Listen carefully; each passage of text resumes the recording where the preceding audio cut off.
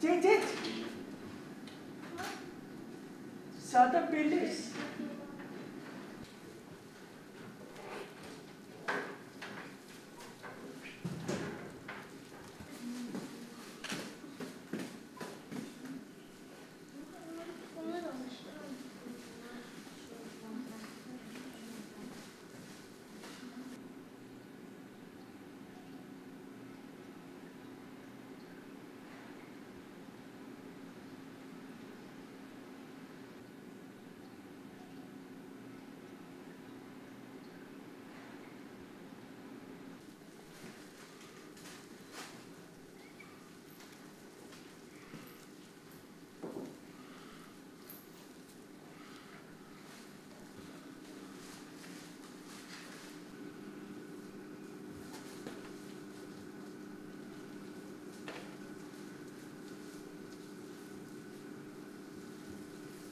Hoş bulduk, sağ olun. İyi adam. Hoş bulduk, sağ olun. Hocam. İyi adam. Evet iyi adam. Eyvallah, eyvallah. Nasılsın, iyi misin? İyi mata tuba. Mata ala. Mantar toplayacağız, beraber toplayacağız. Ala. Alayım mı? Ama belli yok. Tamam, nasıl topluyoruz sen gör. Siz de topluyor musunuz? Bunun çöpü de kendine Ee,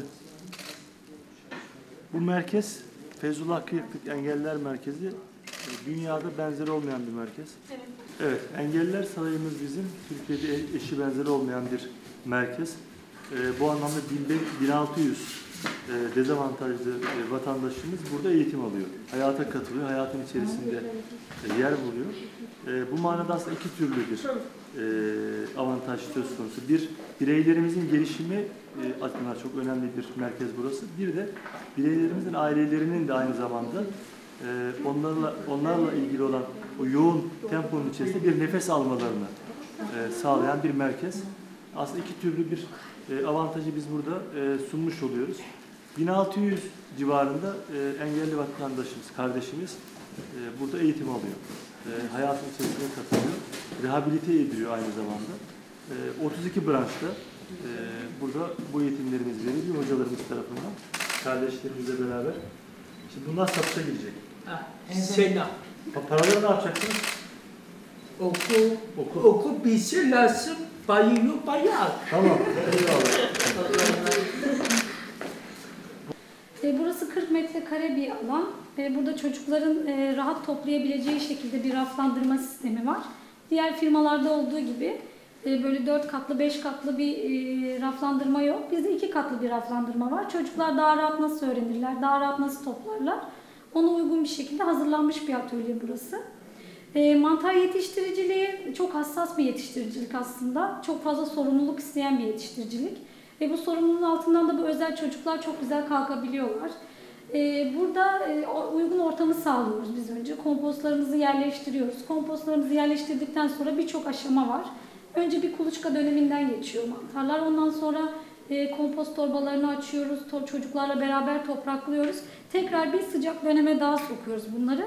E, torbadaki sarı toprağı da sardıktan sonra bu sefer çocuklarla başlıyoruz torbaların üstündeki toprakları tırmıklamaya. Tırmıklama dediğimde biz ellerimizi kullanıyoruz. Toprakla temas ediyoruz. Bu da bir rehabilite e, şekli zaten. E, Daha sonra o işlemden e, sonra bu sefer sınıfı soğutmaya başlıyoruz. Bunların hepsini çocuklarla beraber yapıyoruz. Aşama aşama. Çocuklar ayarlıyor aslında. E, Ben yönlendirme yapıyorum. Benim bu işi yapabilen e, çok başarılı öğrencilerim var. Ya benim kadar bilgililer yani şu anda. E, Daha sonra diğer işlemlere geçiyoruz. Soğutma aşaması, nemlendirme, sulama aşaması başlıyor.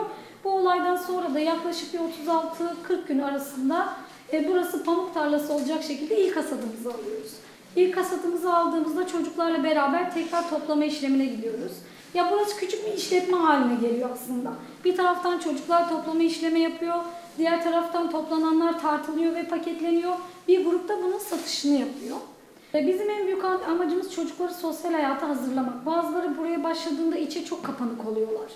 Ee, Buraya başladıktan sonra arkadaşlarıyla iletişim kuruyorlar, benimle iletişime geçiyorlar. İşte mantar satışı yaptıktan sonra insanlarla iletişime geçiyorlar. Aslında buranın çocuklara sağladığı en büyük katkı sosyal hayata çocukları hazırlamak. Sosyalleşiyorlar. Toplum içine girdiklerinde nasıl konuşacaklarını, nasıl hareket edeceklerini biliyorlar. Toplum tarafından dışlanan bir grup var engel gruplarından. Bu tabii ki çok yanlış. Ee, ama dışlanmayacak şekilde çocuklar kendilerini burada eğitiyorlar. Özgüven kazanıyorlar. Kendilerini ifade etme becerini, becerisini kazanıyorlar. Nefretli olduğum zaman buraya gelip nefretimi boşaltabiliyorum ya da kaygılı olduğum zaman hani e, kaygımı boşaltabiliyorum hani. Yani bu iki de gelmişim diyorum. Buraya buraya geldim. Burada melek yüzlü öğretmenim güzel arkadaşlarımla tanıştım. Burası eğlenceli. Mantarı nemini suyunu ayarlıyoruz. Sonra topluyoruz. Sonra satışa sunuyoruz.